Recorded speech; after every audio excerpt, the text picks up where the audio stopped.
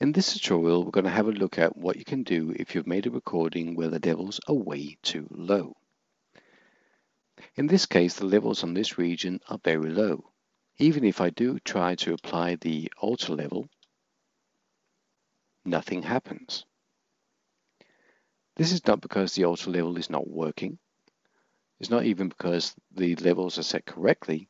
It's just because that we fear that if we start adjusting the level here, we might introduce distortion.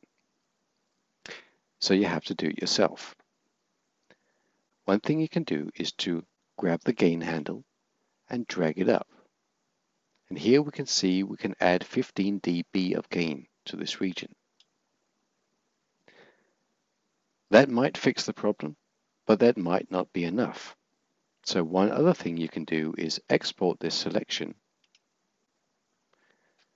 Let's call this gain. Find a folder, choose wave format, say save. Now what we want to do is take the file that we just exported and drag it back into Hindenburg. Now the level should be loud enough for the auto level to make the correct adjustments. So I'm going to take this file, drag it into the system, and when I let go, hopefully the auto level will now be applied. Let's see if that works.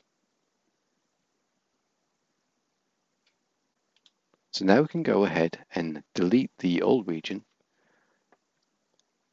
And the new region here, we know that the levels are set correctly.